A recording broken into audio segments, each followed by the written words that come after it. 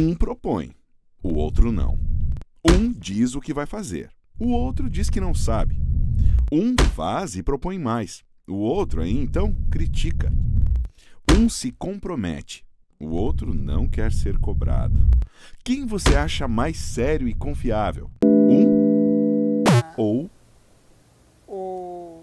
Rio Grande, vamos em frente.